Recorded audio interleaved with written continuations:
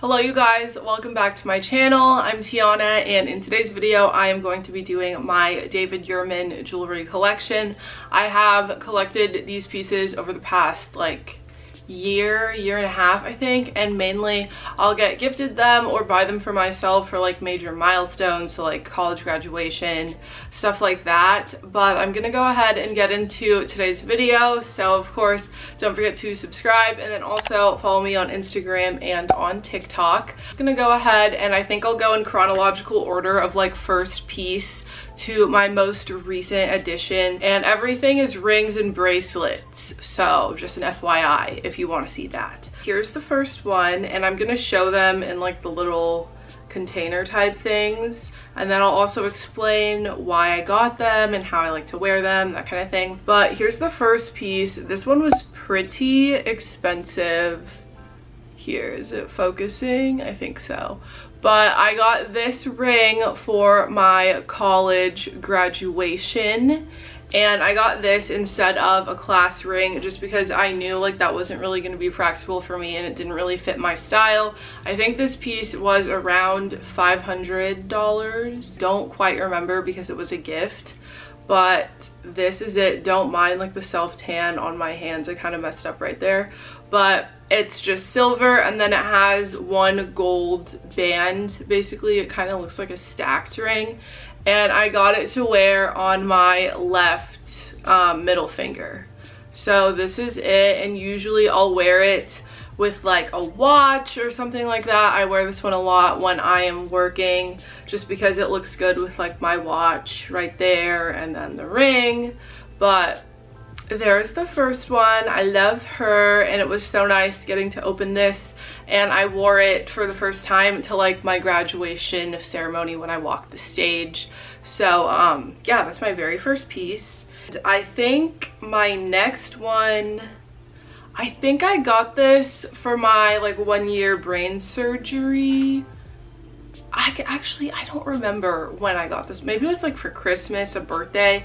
I forget, but my parents got me this one and this is what it looks like. So it's just one of those like interlocking hook ones. I don't know how much the bracelets are, honestly, like I forget but I love this one as well. And usually since I am right-handed, I do my watch on my left hand and then I do bracelets and stuff on my right hand. So I wear this one pretty much every single day and I like to stack it with one other bracelet. So it just looks like this and I like it. I think I get the four millimeter um, because I think that the five is like too thick I don't know, I like my pieces to be kind of light and dainty so that I can stack them. So that is my second one. And then these other two pieces, did I get them on the same day? I think I got them for Valentine's Day for my parents. But let me just like put it in here so you can see and the camera will focus but I have one of the blue little bracelets. This is probably the most popular David Yurman style, but I got blue topaz.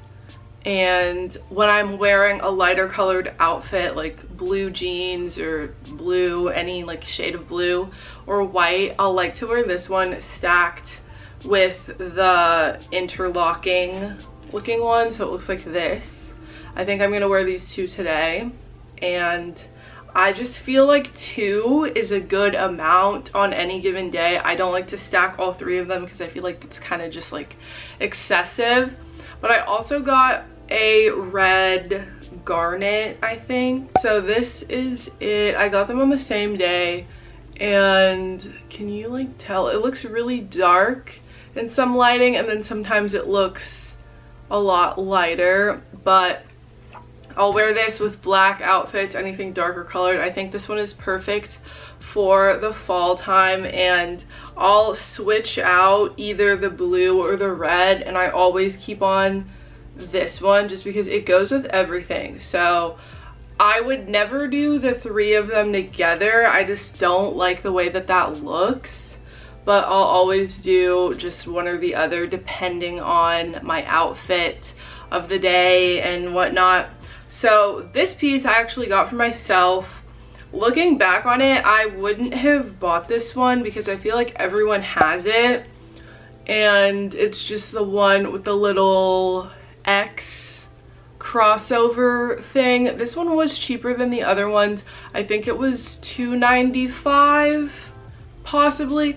But this one I got to wear on my right ring finger. And I got it in a size 7 so I can only wear it on this but I just feel that it looks too similar to this one. Like, I don't know, it's just too similar in my opinion because the way that the thing is designed, it's just basically the same as this one except instead of a band of gold, it's just an X. I honestly never really wear this one anymore, but I did buy it for myself, but that's what it looks like. But my most favorite ring from them besides the graduation one i think i got this why did i get this? I got it because i was having brain surgery again i'm pretty sure. But it's just this one. It kind of I don't even know what you would call this, but there's a tiny gold band right there and then these two twisted ropes. So that is my all-time favorite one. I have been wearing this one every single day since I got it. And it just looks like this. By far my favorite. I never wear the X one anymore. But yeah, that's what it looks like. And let me just take off the red one. You could do, um, now that I'm looking at it, you could definitely do the interlocking one in the middle and then the two ones that are open. It could go like that, but to me that's just kind of like, that's just too much in my opinion. Yeah, that's everything I have from David Yurman. So these one, two, three, six pieces. I don't really think I need anything else. Maybe I'll get one of the pearl ones or something like that maybe if they release more stuff but it seems to me like their collection is pretty consistent so that's it. I don't know. This is honestly way too much money. That is everything from david yurman that i have. I will link all of the items in the description box. And yeah that is all. So i hope you enjoyed today's video. And if you did don't forget to like comment and subscribe down below. But that is it. So i will see y'all next time